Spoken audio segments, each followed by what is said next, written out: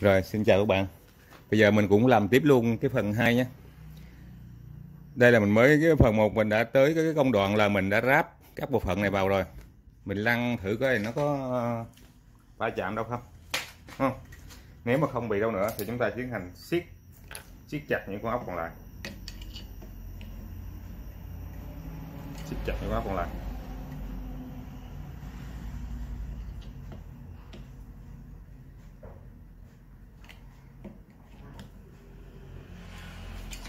rồi siết chặt cái con ốc còn lại.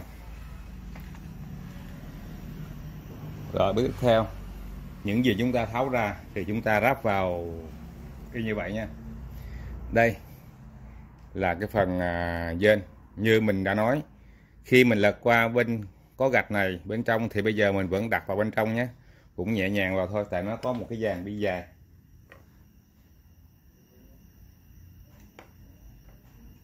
Nhẹ nhàng thôi đó rồi sau đó siết ốc tán lại. À, mình nhắc các bạn là con ốc này rất là quan trọng nha. Các bạn đừng để nó rơi rớt đâu nhé. Và con ốc này chúng ta sẽ vặn ngược chiều kim đồng hồ là vặn vào nhé. Đặc biệt là con ốc này như vậy.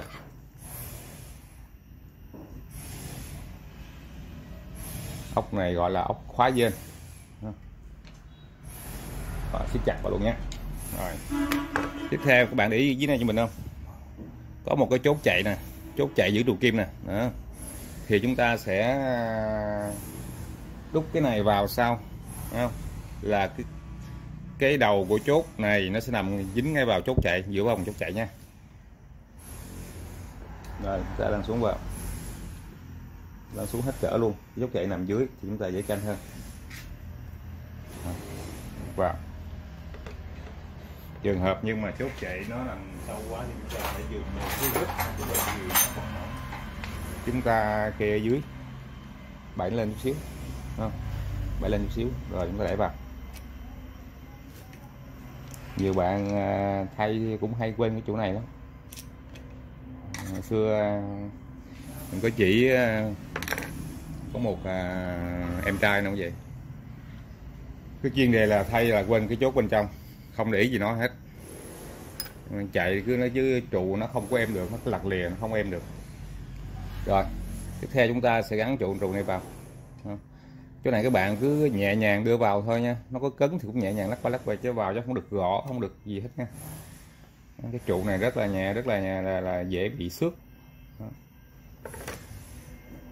Khi ta ấy vào á ta nhớ cái chỗ phần hai lỗ này là cái phần bằng kim này. Chúng ta quay vào trong nha. Phần một lỗ này bên ngoài nha đó, để luôn không có công sửa luôn sửa tới. Đó, rồi chúng ta sẽ gõ nhẹ nhẹ nhàng xuống. Nhẹ nhàng thôi nha. Cứ gõ nhẹ nhẹ thôi xuống. Rồi. Rất là nhẹ nhàng nha. Thấy nặng nặng nặng nặng là kiểm tra có vấn đề gì không á. Rồi. Khi trụ kim xuống chúng ta sẽ đầu tiên thì chưa canh trụ được chúng ta sẽ kéo cho nó xuống nó khoảng bằng cái uh, trụ chân vịt hiện tại đi ha. Chưa chuẩn đâu nhưng mà cho nó bằng cái trụ chân vịt hiện tại đi. Chúng ta siết lại cho nó giữ cái đã. Rồi mình sẽ canh sau. À, siết sơ thôi siết nhanh chịu chặt thôi rồi rồi tiếp tục là mình sẽ bỏ một cái uh, trụ lò xo này vào. Bỏ vào nói chung là cho tất cả các thứ trở về vị trí cũ của nó. Và cũng luôn tiện đây là nói các bạn luôn là có thể các bạn kiểm tra cái phần đi rồi chị ơi.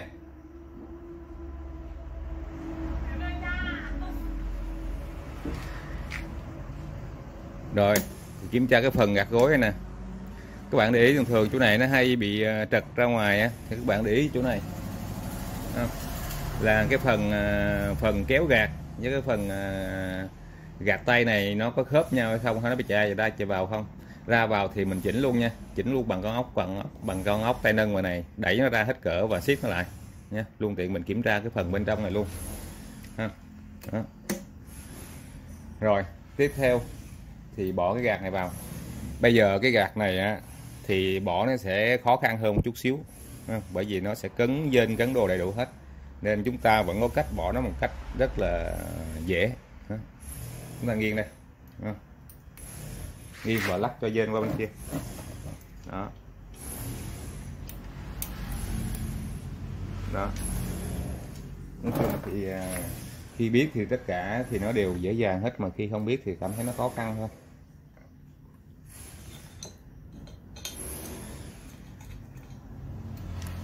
theo chúng ta sẽ siết lại hai con ốc này của nó nha hai con ốc à, đợi chỉ này nhé. Ốc đợi chỉ này cái giá đợi chỉ này nó có cái nhiệm vụ là thường các bạn may những cái đồ dày may cái đồ chỉ lớn hoặc những cái đồ dày bạn gác qua giá đợi chỉ này nó giúp chị chặt chỉ giúp chặt chỉ. May chỉ lớn hoặc may đồ may những cái chỉ lớn may những cái cái gì mà cần sự chặt chỉ nó chặt nhất là mai chỉ dù, mai chỉ zin thì cái này chúng ta gác vào đây để nó giúp chặt chỉ hơn rồi. Và tiếp theo đó thì à, chúng ta sẽ gắn những cái bộ phận còn lại. Thì à, luôn tiện đây, mình đã chỉ thì mình hướng dẫn thì mình hướng dẫn cho nó chi tiết luôn.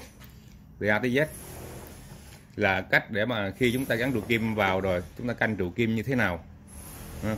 canh tụ kim như thế nào cho nó à, gọi là chính xác.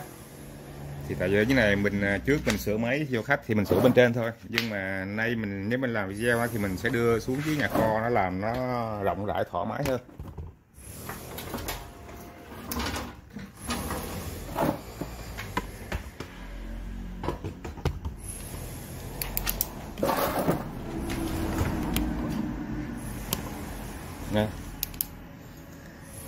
Thì những cái chi tiết của nó mình tháo ra gồm bao gồm những cái gì thì mình gắn vào như vậy thôi.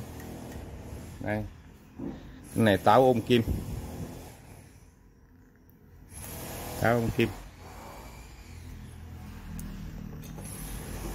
Ốc kim. Rồi, rớt.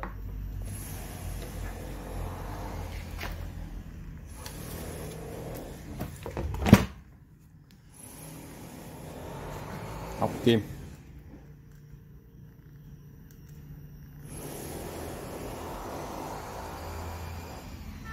Ốc kim này các bạn vặn vào cũng các bạn cứ vặn cái tay bằng tay bình thường mình nhé. Vặn tay mà cảm thấy nó nó vào nặng quá thì các bạn ờ, từ từ thôi. Đừng có cố ép nó xuống cố ép nó vào nó nó nó, nó ra một cái là cháy ra là phải thay cả trụ kim khác.